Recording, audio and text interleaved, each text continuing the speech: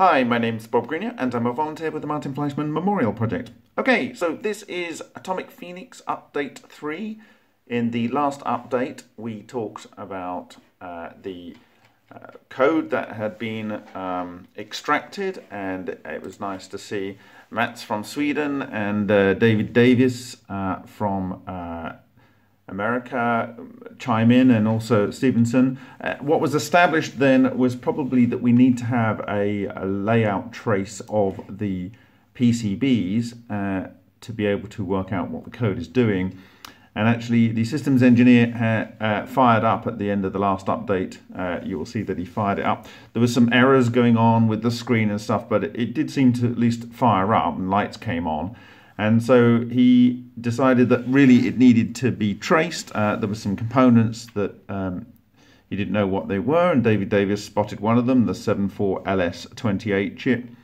And the idea was to go and try and uh, work through these various uh, current sense, voltage sense, sort of uh, uh, water level, electrolyte level, pressure sensor components on there. And you can see his discussion here, if you go to the live document on the uh, Atomic Phoenix page on the quantumheat.org website, uh, and uh, he found that there were these SCRs, which uh, he doesn't know exact use of what they are, but I imagine um, there's some opto-isolators firing these uh, SCRs and maybe power control.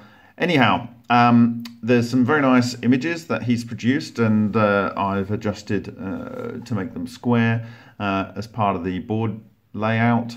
Uh, and so you can look at those in your own time. They are high resolution. And uh, the thing that he did actually, uh, here's the, the component that David Davis found. Um, the, the thing was, he actually bought some new. Um, ribbon cables. I'll come on to that. Um, now, we had this transformer issue where we need this 380 volt uh, uh, uh, kind of transformer. And this was looking like it was going to cost around about, I think, $1,800. And uh, uh, so we haven't got that money at th this time. However, he says that it, he has a colleague from a tech college which might be able to supply a suitable transformer that would at least get everything up and running. It might not have the um, power, uh, total power uh, output necessary to run the device at full throttle, but uh, it may be able to at least get us to uh, trial it. And the great thing is that in this update, this is the big win. So thank you to systems engineer. Uh, he found uh, some new, I've got some new longer flat ribbon cables to replace these uh, rather grimy and, and probably uh, perished cables uh, or uh, not contacting optimally cables. And uh, he said that uh, I replaced the flat ribbon cables, I got long ones, so that I could lay out the controller and panels on my table for active debugging, and it worked! The LED displays now show legitimate data and the touch panel responds. That means the CPU and code is probably still working okay.